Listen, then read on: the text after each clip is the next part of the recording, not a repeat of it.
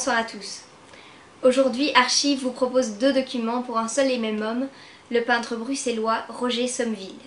Militant communiste, fondateur combatif du mouvement réaliste, membre fondateur du groupe Force Murale, partisan de la synthèse des disciplines plastiques, participant actif au Conseil mondial de la paix et j'en passe, Roger Sommeville est un artiste engagé au sens profond du terme.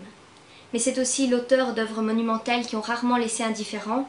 La plus connue est la fresque Notre Temps, située à la station de métro Ankar, à Bruxelles.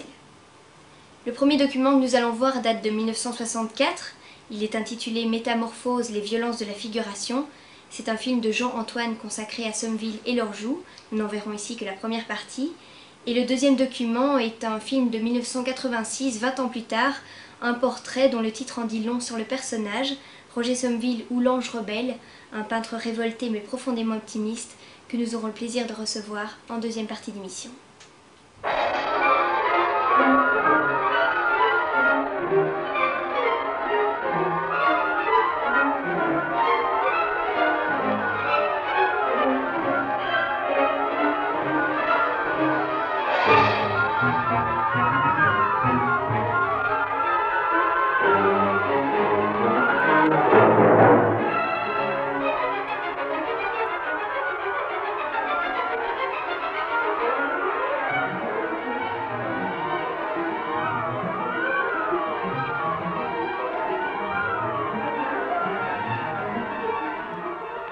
Ce qui compte pour l'homme, c'est l'homme. Aucune arabesque, aucune tâche, aucun signe sans signification mythique n'ont le pouvoir de se substituer à la figuration humaine. Rien n'a de valeur qui ne soit déterminé par la préoccupation centrale des phénomènes de la vie, à partir des besoins fondamentaux, des joies, des détresses, des victoires des hommes. L'artiste n'est grand que lorsqu'il parvient à circonscrire sa vision imaginative dans les limites de la perception humaine. Telle est la profession de foi de Roger Sommeville. Car cet artiste que vous voyez là très calme, très serein, et qui vit paisiblement dans la campagne des environs de Bruxelles, est en vérité un révolutionnaire forcené. Il mène depuis de nombreuses années un combat opiniâtre pour la figuration. Une figuration qu'il situe au-delà du naturalisme, au-delà de l'académisme bien sûr, et même au-delà du réalisme socialiste, dont l'impasse est évidente. Il est parti d'un principe tellement commun, tellement peu original que l'on n'ose plus en parler, ce goût du bonheur, cette aspiration à la joie de vivre que partagent tous les hommes. Il a trouvé son équilibre dans une vie familiale très simple. Et comme il n'a aucune tendance à l'exhibitionnisme, qu'il ne sait pas fabriquer une bohème dorée, et qu'au contraire il manifeste une aversion très nette pour tout ce qui touche aux impératifs de la mode et du snobisme, il vit en marge finalement, il se trouve perpétuellement sur la brèche, parce qu'il ne répond pas au signalement de l'artiste dit d'aujourd'hui. Qu'est-ce qu'un artiste figuratif peut encore nous donner à voir, à nous qui croyons avoir tout vu, tout mesuré, tout pesé? Eh bien, jugez-en.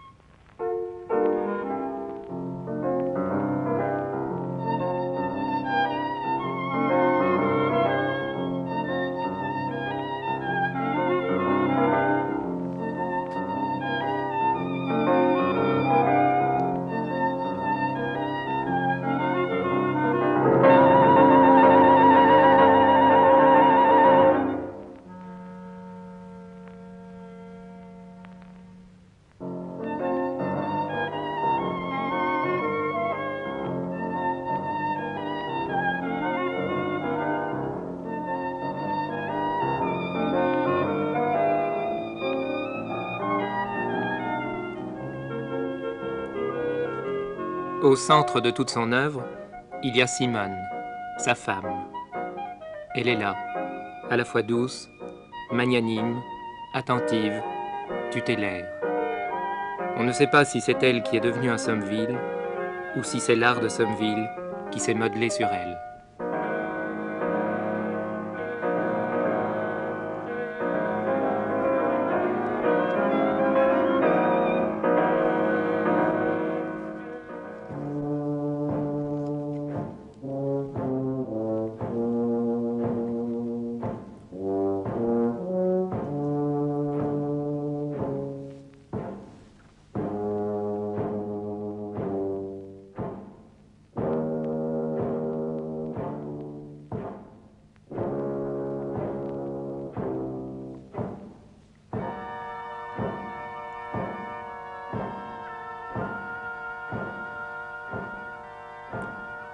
Que ce soit sur les plages, dans les champs moissonnés ou sur les échafaudages d'un chantier, Somerville est fasciné par ce coude à coude des vacanciers et des travailleurs.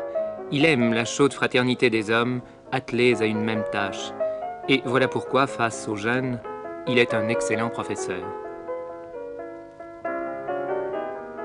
Il a fait de l'Académie des beaux-arts de Boisfort, dont il est le directeur, une école où il est impossible de se sentir enfermé, où chaque personnalité peut s'épanouir totalement et dont le seul mot d'ordre est l'enthousiasme.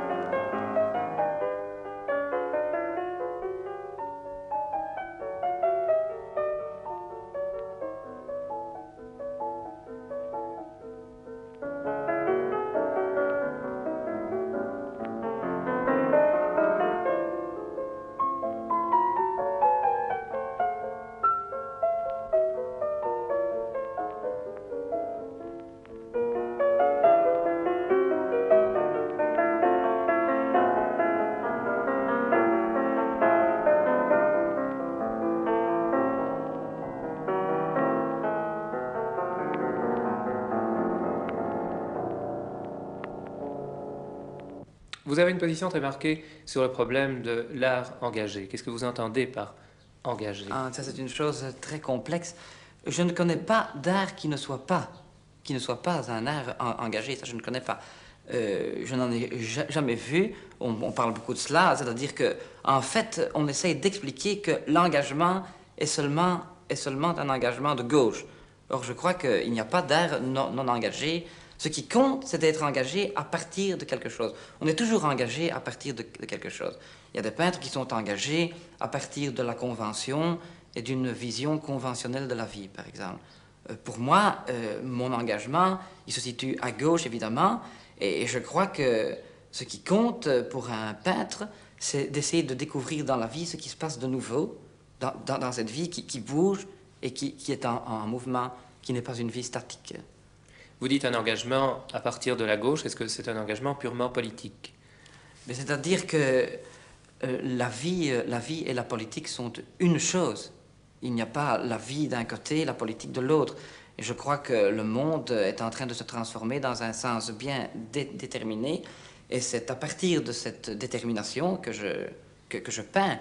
Et j'essaye, j'essaye à partir de cette vie en, en mouvement et en transformation de trouver des formes qui vont me permettre d'exprimer cette, vie en mouvement et surtout les rapports nouveaux qui existent entre les hommes. Lorsque Somerville part en guerre, il ramasse le fleuret de James Ensor et il pourfend les abstracteurs de quintessence. Il est alors impitoyable, et la volée de bois vert qu'il lance aux critiques annonnants, aux marchands retors ou aux peintres souffrant d'incontinence, il l'intitule La diarrhée intellectuelle.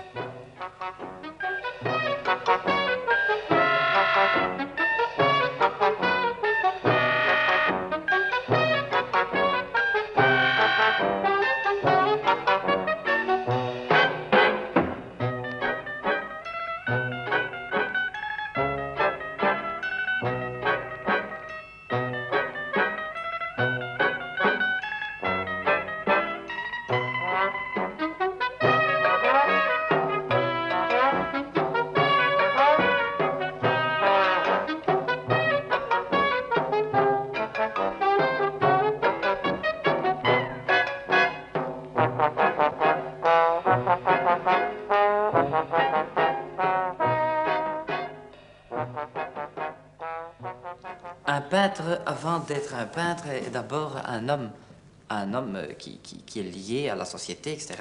Et à, ce titre, je crois que son art doit, doit concourir, par exemple, à la lutte de l'ensemble des hommes pour, pour la, paix. une toile comme celle-là, par exemple, montre les horreurs de, la guerre.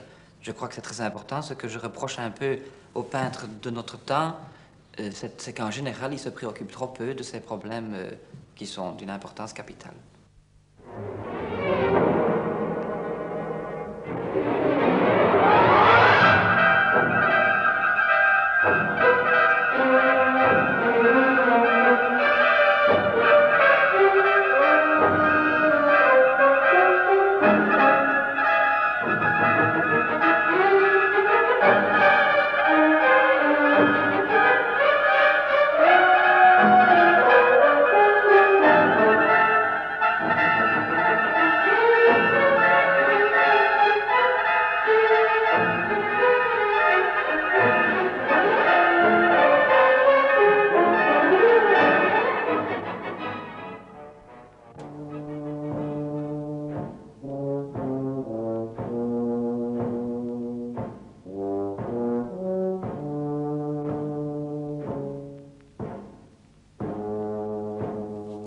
Peindre sur le motif ne veut plus rien dire, mais il importe pour Somerville de ne pas perdre le contact avec une réalité chaque jour différente.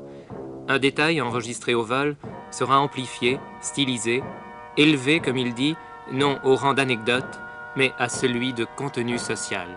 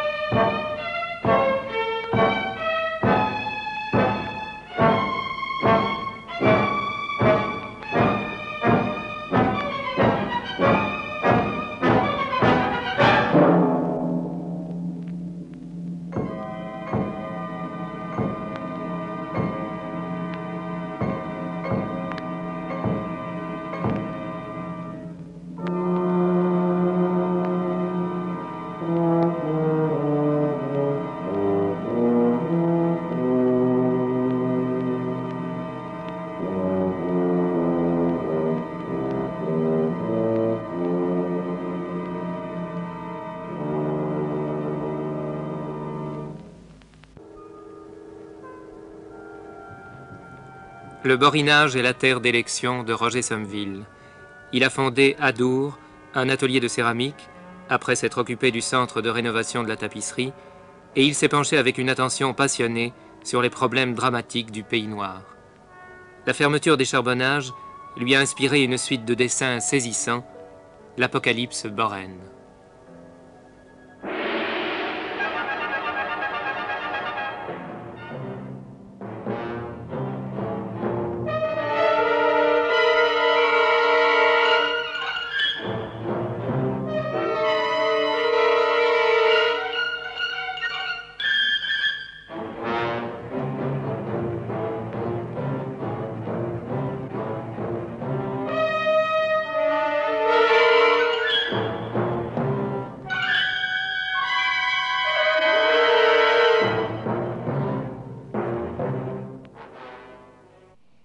Voilà donc c'était Métamorphose, un film de Jean-Antoine de 1964. Et j'ai à côté de moi la personne intéressée, Roger Sommeville. Alors dans ce document, vous dites qu'il n'y a pas d'art qui n'est pas engagé. Qu'est-ce que vous pensez de l'engagement des, artistes aujourd'hui? D'abord, il n'y a pas d'homme désengagé. Ça, ça n'existe pas. Consciemment ou inconsciemment d'ailleurs. De toute manière, en chacun de nous, il y a une idéologie qui travaille ou bien même des, des plus, plusieurs dans, dans des contradictions.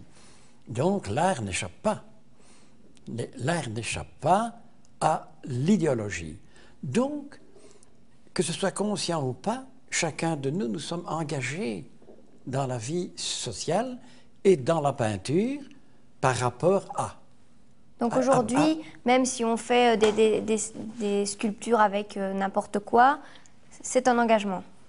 C'est-à-dire, ce n'est pas nécessairement un, engagement, mais derrière cela, il y a une idéologie, c'est-à-dire une manière de penser le monde, une, vision du monde, même si c'est inconscient. C'est ça, ça c'est très, très, très important.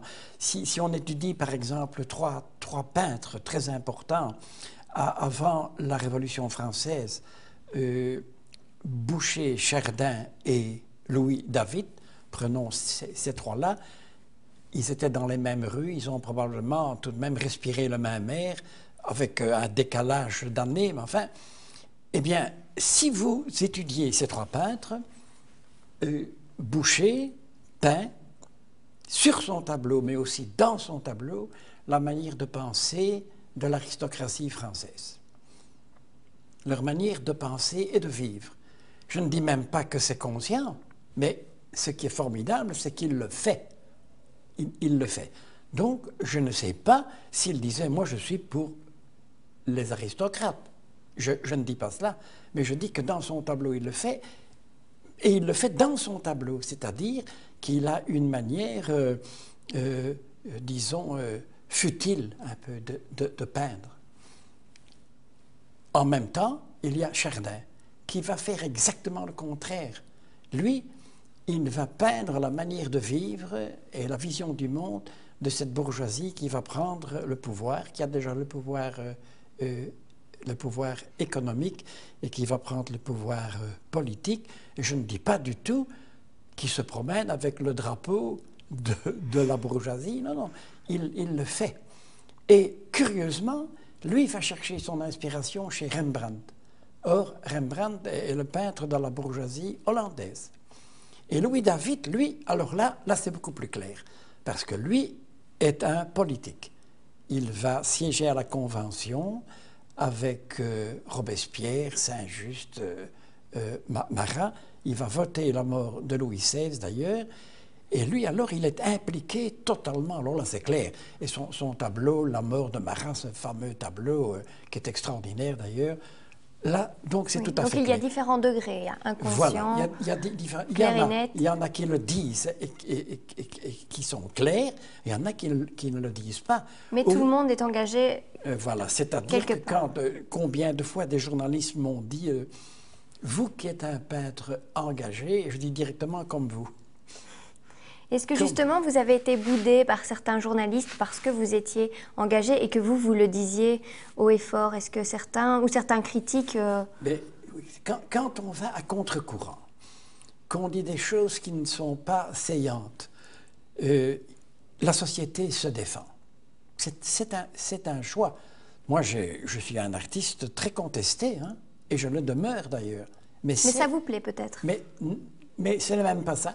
C'est dans la logique des choses. Vous avez choisi de contrer une société dans laquelle vous vivez. Cette société se défend. Une, société se défend à tous les créneaux. Elle se défend au niveau politique, elle se défend au niveau, au niveau euh, économique et elle se défend au niveau artistique. Alors aujourd'hui, l'art est de plus en plus un bien de consommation. Est-ce que c'est un bien ou un mal selon vous? Ça peut permettre aussi de le faire connaître certaine Là, Ça, c'est un, très grand problème. Le grand philosophe Denis Diderot, donc avant la Révolution française, avait senti, avec son génie particulier, que l'art allait devenir de plus en plus une marchandise avec parallèlement une perte de sens. Et il a appelé ça l'épidémie venimeuse. C'est fantastique, hein? Non, mais il, fallait vraiment avoir du génie pour, pour voir ce qui allait se passer. Donc, il est évident que l'hégémonie de l'argent, mais ça, ce n'est pas l'art, c'est d'abord la société. Nous vivons dans une société dominée par un capitalisme sauvage, donc l'art n'y échappe pas. L'art n'échappe à rien. L'art n'échappe à rien. Vous pouvez contrer, mais vous êtes tout de même pris. Moi-même, je, je, suis contre. Je suis contre un tas de choses mais je fais quand même partie du marché de l'art. Ça, c'est la contradiction des choses. D'ailleurs, c'est très simple. C'est la contradiction fondamentale d'un syndicaliste, un, vraiment un meneur ouvrier, etc. La première chose qu'il fait le matin, c'est d'aller travailler pour son patron. C'est quand même une contradiction géante, évidemment. Donc, vous, vous vivez de, de quelque chose que vous allez contrer. Mais on vit avec. Voilà, voilà. Alors vous peignez toujours très activement, Oui. mais est-ce que votre femme est toujours au centre de votre création? Ah oui, oui, mais ça, ça a toujours été mon, mon modèle. Enfin, j'ai peint d'autres personnages parce que moi, j'ai j'ai fait beaucoup de dessins, de croquis sur les plages, par exemple. Alors ça, c'était assez amusant parce que, puisque vous parlez de, de mon épouse, elle, elle- elle avait acheté un énorme parasol. Et, mais pas seulement, donc, pas seulement le toit du parasol, aussi des grands draps qui tombent comme ça. Et pourquoi? Parce que sur une plage, quand vous êtes là et vous faites des, des croquis, vous voyez une très belle femme là et, qui, et vous dites, tiens, je vais faire des croquis. Puis tout d'un coup, le, le mari se dit, mais qu'est-ce que c'est que ce type-là? Qui regarde ma Et femme donc, elle voulait vous protéger quand même Et un petit alors, peu. donc, je me mettais sous le parasol et C'est bien, elle n'est pas jalouse, elle vous laisse et- euh, et- et- dessiner et les autres, et- elle et vous ça, Et ça tournait comme euh, un char. Donc, donc j'ai, je- tout ça pour dire que j'ai fait énormément de dessins, etc. Et qu'en plus, j'ai dirigé une académie où sont passés une centaine de, de modèles. Donc, évidemment, euh, alors, je- alors mais maintenant, maintenant, je ne demande plus à personne de poser parce que j'ai tout ça ici, quoi. Ah, Plus besoin de modèle. oui, oui, Travailler, hop, les yeux fermés. oui, oui, oui, oui. Alors votre femme, justement, on va la retrouver dans ce portrait de 1986, Roger Sommeville ou L'Ange rebelle.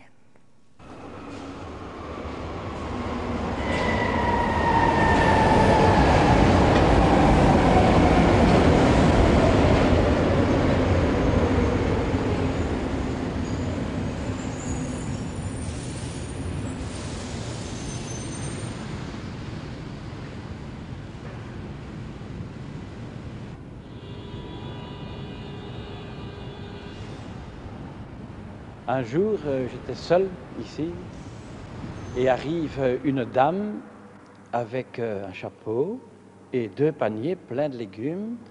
Elle lève les yeux vers la peinture et elle dit Quelle horreur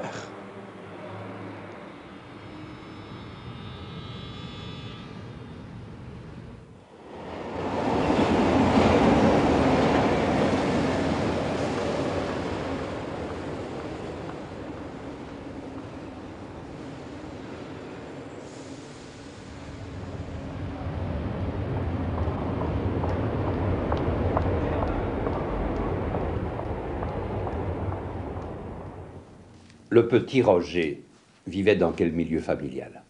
Euh, Dans un milieu, disons, d'artisans, mais de type euh, ouvrier. Mon grand-père était un ouvrier typographe, d'opinion un peu anarchisante. Mon père était un marketeur, donc il travaillait euh, le bois, et il est mort lorsque j'avais deux ans, donc je ne l'ai pas connu. Ma mère était une ouvrière et on a eu toute notre vie, enfin, elle a eu toute sa vie une vie très, très, très, très difficile du point de vue matériel. Et mon oncle était un ouvrier euh, lithographe. Et il avait des opinions marxistes. C'est lui qui a eu une très grande influence, euh, euh, non seulement sur ma jeunesse, mais même après. Et ils pratiquaient tous le dessin, non? Oui, oui. Dans ma famille, tout le monde dessinait. Mon grand-père avait, euh, d'ailleurs, je, me rappelle, Ah ben, C'est foutu.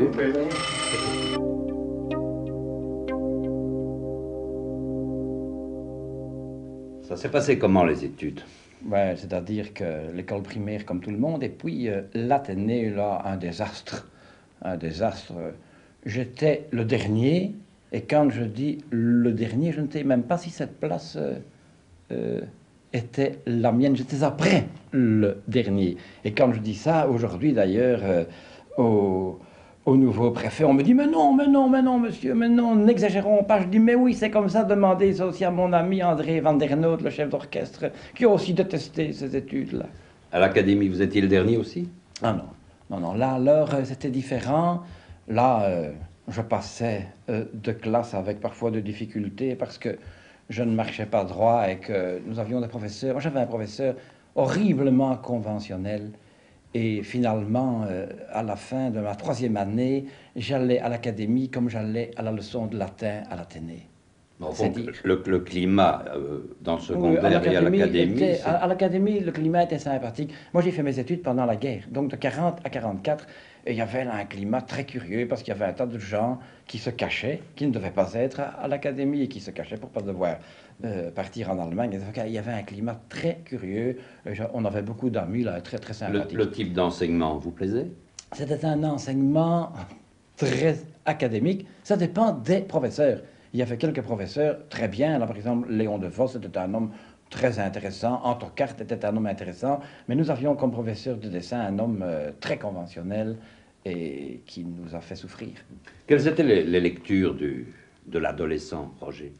Mais comme mon oncle avait sur moi une certaine influence, euh, j'ai vite lu beaucoup de choses. Charles de Coster, par exemple, euh, Victor Hugo, enfin bon, tous les grands écrivains français, et puis aussi Gor- Gorky et Malraux, par exemple, Karl Marx aussi. Mais Malraux est un homme qui a eu une influence sur nous, euh, disons, à travers aussi la défaite de la République espagnole. C'est à ce moment-là que vous avez pris conscience d'un certain drame de l'homme? Oui, c'est-à-dire que dans ma vie, la défaite de la République espagnole a été marquante. C'est-à-dire que pour moi, ça ça m'a marqué davantage que la guerre de 40, par exemple. Cette défaite-là, et je crois que beaucoup de gens de ma génération, nous sommes devenus marxistes à travers cette défaite.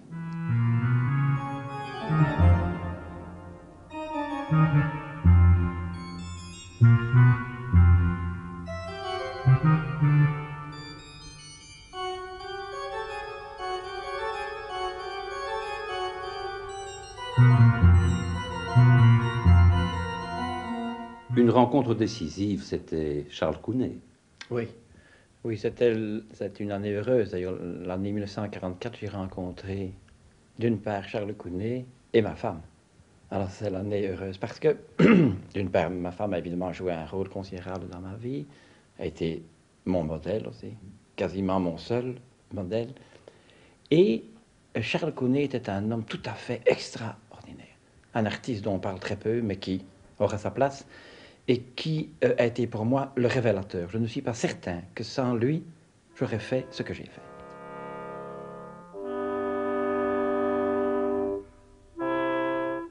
Ce que nous voulions évidemment après la guerre, parce que nous rêvions d'une autre société, nous avons voulu créer un art public. Et évidemment, la société n'a pas répondu à notre rêve.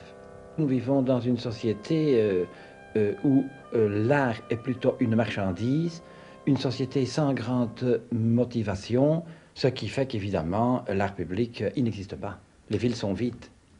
Art public, je pense immédiatement à une tapisserie dont avait fait les cartons, Le triomphe de la paix. C'est une œuvre immense. Elle a connu pas mal de tribulations. non? Eh Oui, c'est parce que l'État belge l'avait prêté au palais de l'OTAN, et pour des raisons idéologiques, le palais de l'OTAN l'a exclu. Parce que c'est une tapisserie euh, qui est née d'un poème extraordinaire de Bertolt Brecht, et euh, qui est une tapisserie contre l'OTAN, euh, contre l'impérialisme américain, contre les répressions. Enfin, c'est quelque chose qui n'était pas trop bien vu par les généraux. Ah, La paix, c'est universel. Oui, c'est universel, mais il semble bien qu'au palais de l'OTAN, il s'est passé une chose fabuleuse. Lorsque il y a eu le vernissage de cette tapisserie au palais de l'OTAN, il y a quelqu'un qui n'a pas été invité, et c'est moi.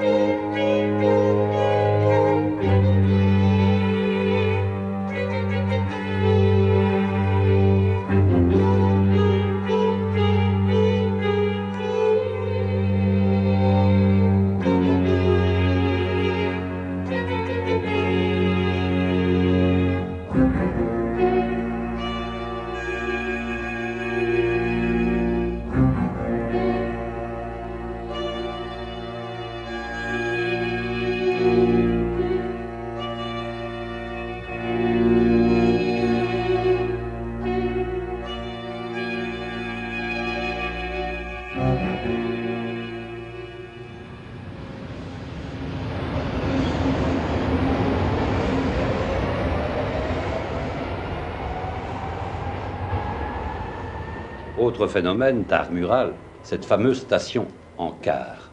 C'est une réussite pour vous? Ah oui, c'est l'œuvre murale euh, la plus importante que j'ai pu réaliser euh, dans ma vie. Et il faut dire que euh, si d'une part la Belgique n'a rien fait ou quasiment rien pour l'art public, alors là, dans le métro, c'est le seul grand effort de la Belgique. C'est une sorte de, de mur des lamentations, à la limite. Ce que j'ai peint Mm. Ah non, non, non, non, non c'est pas du tout un mur. Moi, je ne, je ne me lamente pas, c'est un mur de lutte. Et j'ai voulu montrer là, là, d'ailleurs, ça s'appelle Notre temps, j'ai voulu montrer les contradictions de notre temps, les batailles et la lutte des hommes et des femmes pour changer la vie et la société. Le but de cette grande fresque murale, c'est, par exemple, d'ouvrir un dialogue avec, avec le public, Oui. de communiquer. Bon. Mais l'homme qui vient de quitter son dodo pour aller au boulot et qui sort du métro, est-ce qu'il regarde? Est-ce qu'il réfléchit? Ah, je ne sais pas si tout le monde regarde et réfléchit, mais ce que je puis vous dire, c'est que avec le triomphe de la paix, c'est la c'est l'œuvre, l'œuvre où il y a eu le plus de contact. On est pour ou contre?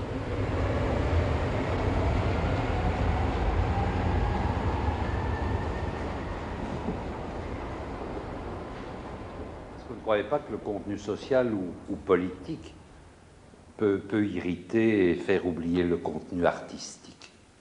Irrité, oui. De toute manière, euh, toute œuvre est idéologiquement marquée, donc moi je puis aussi être irrité par une œuvre qui est marquée par une autre idéologie que la mienne. Mais euh, effacer le contenu artistique, ça, ça dépend de l'œuvre elle-même. C'est-à-dire que si l'œuvre est forte, quelle que soit son idéologie, elle reste forte. Et on peut le voir à travers euh, l'histoire du monde. Votre œuvre a une justification morale? Oui, dans, dans la mesure où je suis un peintre engagé comme tout le monde d'ailleurs, tout le monde l'est, qu'on le sache ou qu'on ne le sache pas. Moi, mon engagement a un certain sens, et bien sûr, sa justification morale, c'est que finalement, euh, moi, euh, je crois euh, que si mon art n'était pas déterminé par un certain amour de l'humanité, donc de vouloir tout de même transformer le monde en un monde, je ne dirais pas juste, mais moins injuste, je ne sais même pas si j'aurais peint. Vous êtes un, un révolté, un révolutionnaire ou un humaniste? Moi, je suis plutôt, je crois, un révolutionnaire, mais ce qui ne veut pas dire que je ne suis pas humaniste.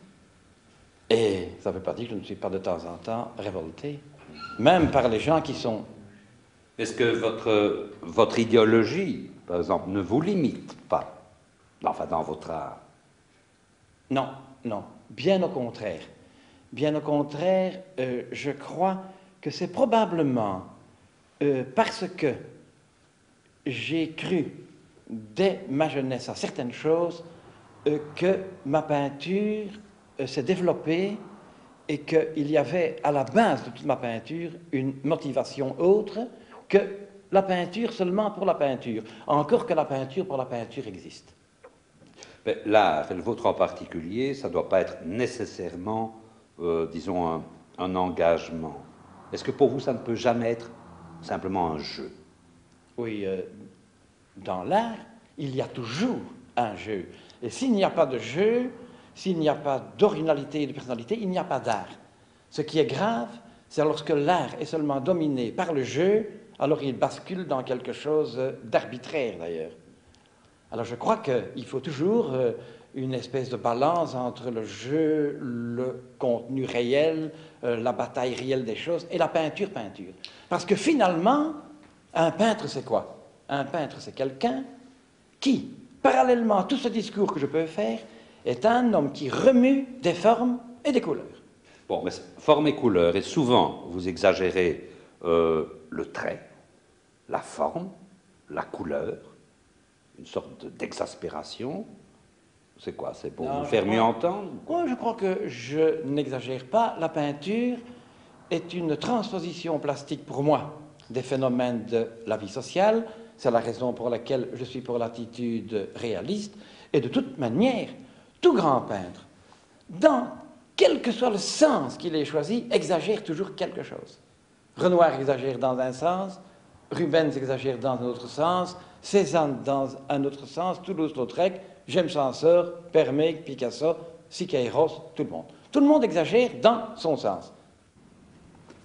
Quel est exactement votre, disons, votre position dans, dans le panorama de, de l'art actuel? Vous êtes un isolé? Non, je ne suis pas un isolé parce que euh, il y a euh, dans euh, beaucoup de pays du monde des peintres qui ont l'attitude réaliste. Mais les, les propos que vous tenez dans, dans votre peinture ah, peuvent faire de vous un, un isolé éventuellement. Mais je, je sais, on est toujours le, le réactionnaire ou le gauchiste de quelqu'un, ou toujours le, le juif, le noir ou l'arabe de quelqu'un, mais vous êtes pique tout de même dans, dans une situation euh, Un peu difficile. un peu difficile. Vous le cherchez un peu, non? Non, je ne le cherche pas, euh, je le suis. Je, je ne peux pas faire autre chose que ce que je sens. Et euh, je crois d'ailleurs que, d'une part, je ne suis pas seul, et d'autre part, je crois tout de même que je réponds aux sentiments aussi de beaucoup de gens. Mais votre sincérité, parce que vous êtes sincère, ça n'arrange pas les choses. hein. Ah non, parce que je crois qu'il y a évidemment en art tous ceux qui trichent, tous ceux qui fabriquent, mais il y a énormément de peintres aussi euh, qui ne sont pas du tout de mon avis et qui évidemment sont des gens authentiques et qui ne trichent pas. Moi, je n'ai jamais attaqué euh, les gens qui n'étaient pas de mon avis. Ce que j'attaque, c'est un certain terrorisme intellectuel, euh, soutenu par souvent les fonctionnaires d'ailleurs de l'État, et qui crée euh, une situation lamentable parce que je crois quant à moi que la seule politique culturelle intelligente est celle de la confrontation, de la bataille des choses. Et c'est de la bataille des choses que naissent les choses, puisque on, au fond, on peint, on se nourrit aussi de ce qu'on combat. Euh, vous peignez le drame humain, en général. Euh, la Grèce des colonels, le Vietnam, le Chili, Pinochet, et vous avez bien raison. Mais vous ne peignez jamais d'autres goulags. Pourquoi? Mais parce que je m'attaque à ce que je crois essentiel, et je pense, comme vous, que le goulag est une chose terrible. Mais vous ne le peignez pas. Mais seulement, euh, je fais confiance à tous mes autres amis peintres pour s'occuper peut-être de choses dont je m'occupe moins. Et je leur fais confiance. Mais je ne vois rien. Là, vous prenez... Je, je- je- je ne vois pas en peinture. C'est assez curieux d'ailleurs. Alors que euh, on parle beaucoup de ces choses, je suis très étonné de constater que tant de peintres belges euh, ne s'occupent de rien, font semblant de ne s'occuper de rien. Ils peuvent le faire. Je ne défends cela à personne. Mais pourquoi ne le faites-vous pas? Mais peut-être je le ferai demain. Il y a un autre visage Sommeville. Quand on parcourt une exposition, le Sommeville rebelle, bon, ça, ça saute aux yeux immédiatement. Mais il y a le, le Sommeville ange, avec le spectacle de la rue, la joie de vivre, la femme, sa femme, très souvent. Vous ne pas me parler de l'ange Sommeville? Mais finalement, euh, moi, j'aurais aimé ne peindre que cela. Peindre la joie de vivre, mon jardin, le parc, la plage, ma femme, ce que j'ai fait d'ailleurs. Malheureusement, le monde n'étant pas un paradis terrestre, je pense que le peintre doit aussi rendre compte de ce qui ne va pas. Et en luttant contre ce qui ne va pas, on tente de protéger ce qu'on aime. Ce qui fait que finalement, j'ai peint des choses aussi que je déteste, mais que je dois montrer. Je ne peux pas montrer le monde comme étant un paradis terrestre, puisqu'il ne l'est pas. Et euh, la femme, les plages que j'ai peintes euh, dès les années, d'ailleurs 1947, euh, 48, entourées de tous ces dessins, sont en fin de compte ce que j'aurais dû peindre en biffant tout le restant. Mais en biffant le restant, il y avait comme un mensonge.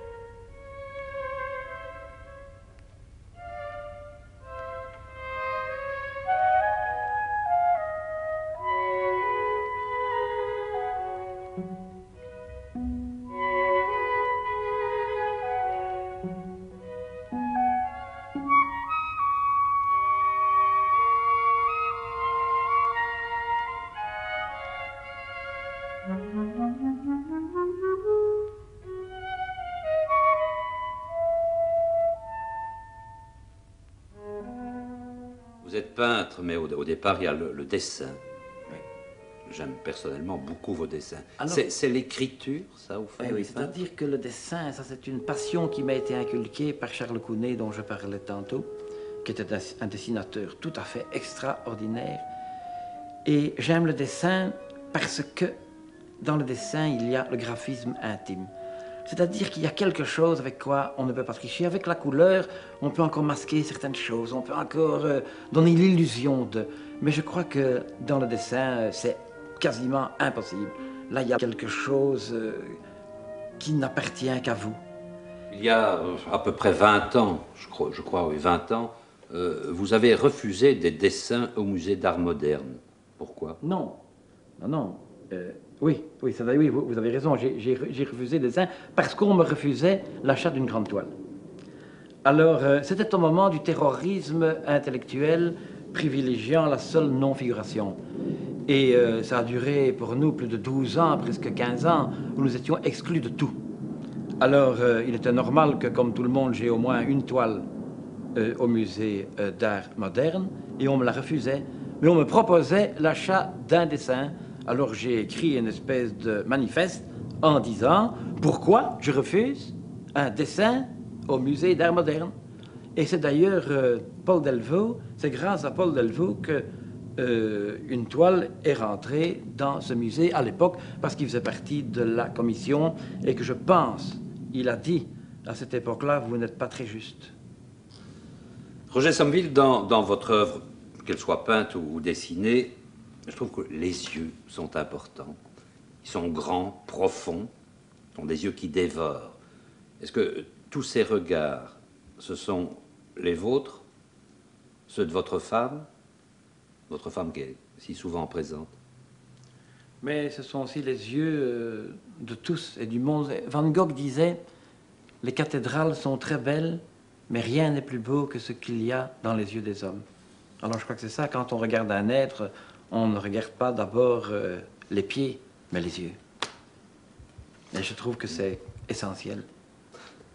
Et ma peinture tourne autour des yeux. Je vais même vous dire que ça va parfois plus loin.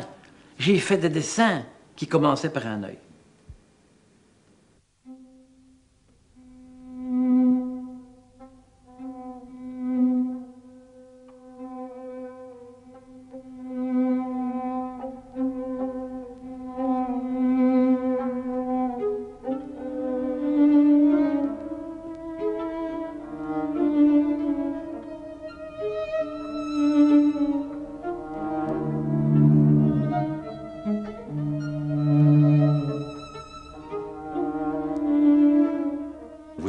Professeur, et vous qui n'êtes pas académique, vous dirigez une académie. Alors que vaut l'enseignement aujourd'hui Hein, Vous qui disiez non à l'enseignement que vous avez connu? Mais l'enseignement euh, vaut ce que valent les hommes qui s'en occupent. Quand vous êtes dans une école d'art, euh, il n'y a pas de bonne et de mauvaise école. Il y a des professeurs, je ne dirais pas des professeurs, il y a des artistes. Il y a des êtres qui enflamment et il y a des êtres qui éteignent. Il y a les enflammeurs et il y a les étouffoirs. Et chaque être dans sa vie a toujours rencontré quelqu'un qui allait l'enflammer. Mais il faut saisir l'occasion. Il n'y en a parfois qu'un.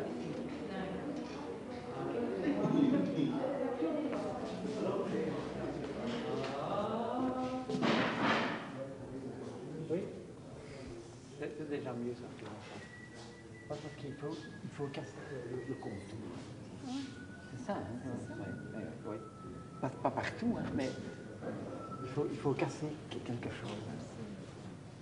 Ah, il faut, il faut qu'il y ait un passage, comme là, tu vois, tu vois, tu fais- quand tu fais un passage, là c'est dur, tu as un passage. Et là c'était une espèce de... Oui, hein, Dans la couleur. Et ça, il ne touche plus? Ah non, ça c'est très bien. Ça c'est très très bien. Très très bien. Non, parce qu'il y a tout là. Il y a des passages, il y a, les, il y a, il y a le, le dessin de, de cette tête et de cette barbe, c'est très très bien. ça. Et puis tout d'un coup, l'accordéon plus, plus dur. Il y a des contradictions intéressantes dans cette toile-là. Ça c'est très bien. Ton. Oui, je crois que ça peut être, mais seulement ça, ça peut être, c'est peut-être bien, mais ce sera déterminé par ceci. c'est par rapport à ça qu'on va voir si c'est intéressant ou pas.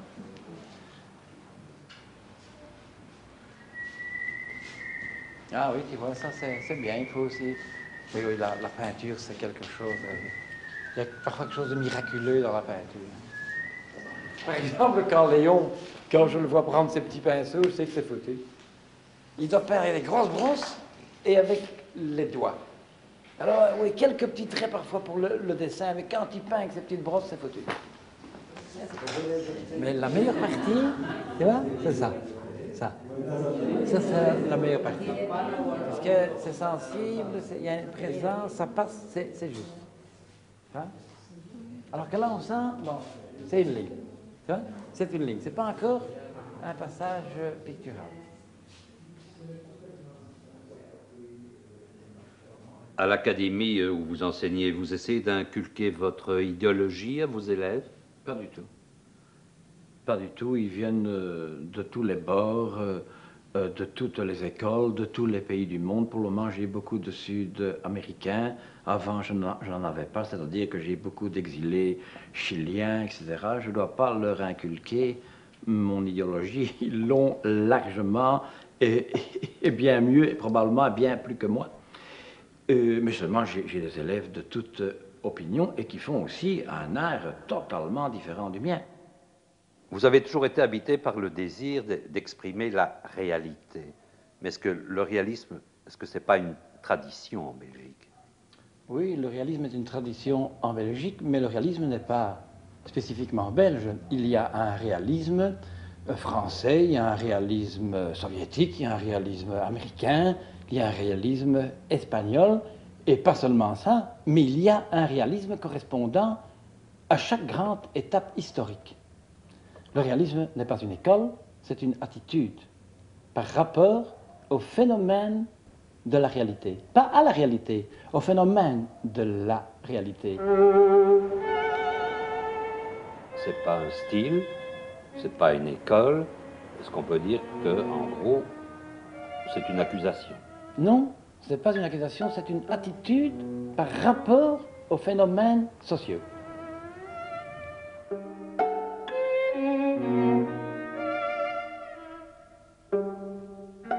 La question, pour ce qui nous concerne, est de savoir si oui ou non cette peinture est bonne.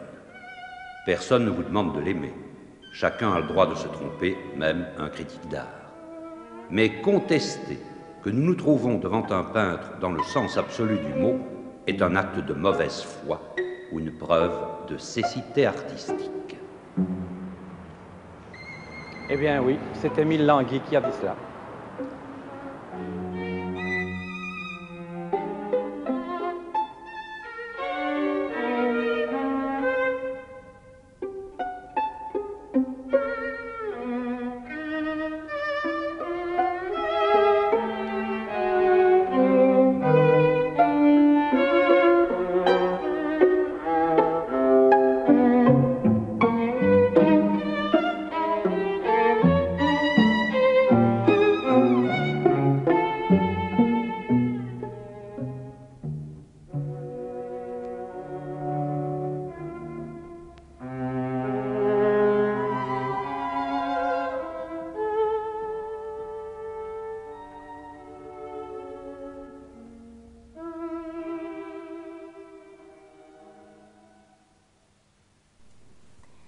Voilà, donc un petit peu plus de 20 ans séparent ces deux documents.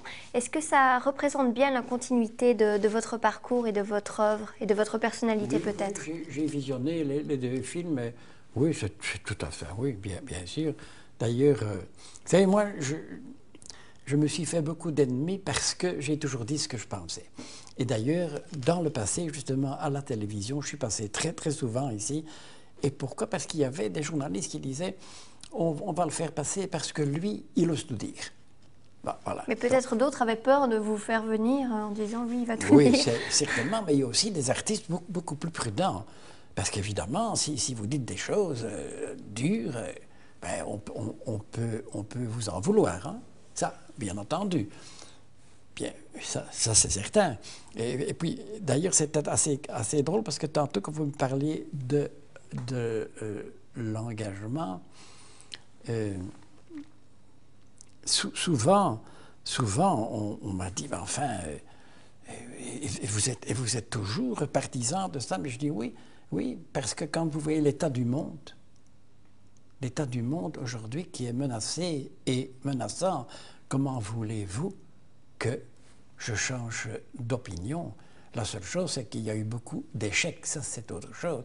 Et quand on me dit, vous vous êtes souvent trompé du point de vue politique, je dis oui, mais pendant que nous, on se trompait, que faisiez-vous, vous? Ça, c'est intéressant. Et en parlant de l'état du monde, alors quels sont les événements du moment qui vous révoltent et seraient susceptibles de vous inspirer? Depuis, depuis 60 euh, ans, je peins depuis 60 ans, j'ai certainement abordé une cinquantaine de thèmes, très, très, très différents. Par exemple, dans les années 50, l'affaire royale, la guerre de Corée, puis le Vietnam, les, colonels grecs, enfin, tous les malheurs du monde, où j'ai toujours essayé de trouver la transposition et la transfiguration plastique, donc à partir de l'imaginaire. L'art, c'est une question d'imaginaire aussi. Mais à partir de quoi? Tout, tout le problème est, là. L'imaginaire à partir de quoi? Les, uns préfèrent faire un rond et, et un carré, et moi j'ai toujours dit qu'il fallait peindre la personne humaine que ça, c'était extrêmement important. Et il y a des moments où ça a été très difficile. Par exemple, j'ai vu, j'étais présent au drame de Marcinelle, où il y a eu plus de, 200 morts. Donc, je travaillais dans le borinage et j'ai vécu cela. C'était tellement effrayant que je me suis dit à l'époque, je dois absolument faire une grande toile sur Marcinelle. Et pendant 40 ans, j'ai fait des projets que j'ai liquidé, parce que je l'ai trouvé ridicule par rapport à ce que j'avais vécu. Et tout d'un C'était jamais assez fort. Oui, mais tout d'un coup, j'ai compris qu'il ne fallait pas du tout peindre les cadavres, etc., qu'il ne fallait peindre que la douleur. Et la douleur de qui? La douleur des femmes. Et j'ai fini par peindre un, tableau avec deux femmes, alors qu'il y avait énormément de monde. J'ai peint un tableau avec deux femmes, comme dans la tragédie grecque. Mais, j'ai mis 40 ans. Et alors, il y a des œuvres qui deviennent quelque chose aussi. J'avais peint une toile, et une, étude pour un grand tableau qui s'appelait La barricade, en mai 68, bien entendu. Mai 68, j'ai beaucoup participé à tout ça. Hein, j'ai toujours beaucoup participé à tout ça. Et le comité grec ici contre les colonels, viennent, ils viennent me voir et me disent est-ce que tu voudrais pas faire une affiche avec des gens derrière des barreaux, enfin des prisonniers? Je dis Mais non, c'est tellement conventionnel, ça, il faut trouver autre chose. Et puis on va dans mon atelier et ce tableau était là. Et celui qui, dirigeait cette délégation dit Tiens, mais, mais c'est ça. Voilà, ça c'est le cri du peuple grec. Donc ça ne s'appelait pas comme ça, ce tableau est devenu. Mais pour que ce tableau devienne quelque chose, il fallait tout de même qui est dans ce tableau quelque chose qui, qui, se rapporte à ce drame de la Grèce. Alors par exemple, aujourd'hui, on vous proposerait de faire une fresque pour l'ambassade des États-Unis. Qu'est-ce que vous feriez? Je ferais une chose épouvantable. Je ferais une chose terrible. Parce que euh, j'ai, j'ai euh, à leur sujet, évidemment, parce que déjà à l'époque, on voit, vous, la fresque pour l'OTAN, c'est contre l'impérialisme américain. Ils n'ont jamais cessé. Ils ont commencé par, euh, par euh, assassiner toute une nation, et puis ils, n'ont jamais cessé. Et, c'est vrai, c'est bien dommage, parce que c'est un, grand peuple. Moi, depuis que je m'occupe de, de choses politiques et de choses, euh, disons, sociales, on les a toujours critiqués. Toujours, toujours, toujours. Je n'ai connu que cela. Dans, ma vie, je n'ai connu que cela. Vous savez, quand on, était jeune, quand j'avais euh, une dizaine d'années, on ne parlait pas des, Américains. Dans les familles, on parlait de l'Empire anglais. L'Empire en anglais, 1932, donc 30-32. Ils avaient encore cet énorme empire, et tout ça s'est effondré comme tous les empires, et comme, ça, comme va s'effondrer l'Empire euh, euh, américain d'ailleurs, et parce moi, ce qui m'effraie, pour euh, résumer ce, que je pense, ce qui m'effraie, ce n'est pas tellement leur puissance politique, c'est leur imbécilité politique. Donc, ils ont une puissance, euh, une armée extraordinaire, énorme, mais ce qui est très grave, si des gens comme Mazarin et Richelieu, vous voyez qui était Mazarin et Richelieu, les, ministres de, revenaient, qui étaient des grands, des grands diplomates, et on leur expliquait la, si- la situation. Et on leur demandait, qu'est-ce que pensez-vous de la politique américaine? Ils diraient, ils ont un zéro pointé. Hein, Voilà. Bon. Mais vous accepteriez quand même de faire une fresque pour eux, pour bien leur montrer euh, ce que vous pensez Je vais d'eux? vous dire, la grande tapisserie que j'ai faite, Le Triomphe de la paix, est une tapisserie contre l'OTAN.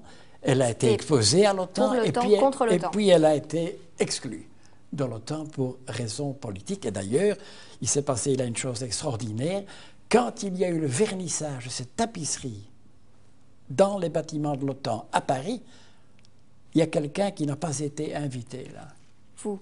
Et c'est moi. Alors, quand un artiste n'est pas invité au vernissage de sa propre œuvre, c'est qu'il y a un petit, Petit problème. problème. Oui.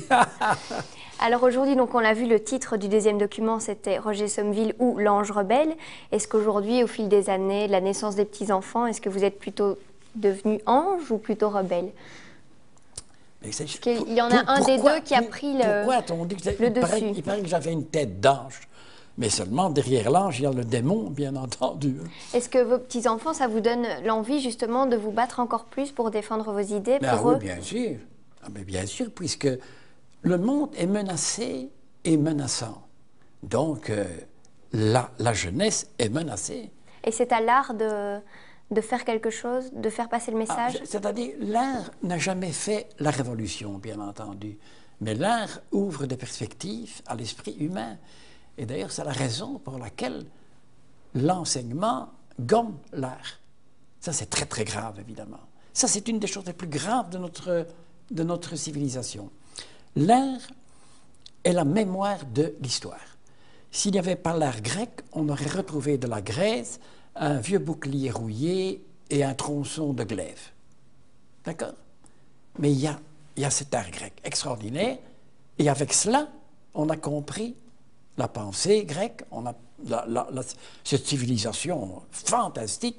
Donc, ça veut dire que l'art joue évidemment un rôle fondamental, et il faut la mémoire, bien entendu. Mais si on ne l'enseigne pas, on perd la, la mémoire. Et d'ailleurs, je crois que dans un certain, dans un certain sens, j'ai constaté chez beaucoup, et même des jeunes, et ça c'est très dommage, l'ignorance avance.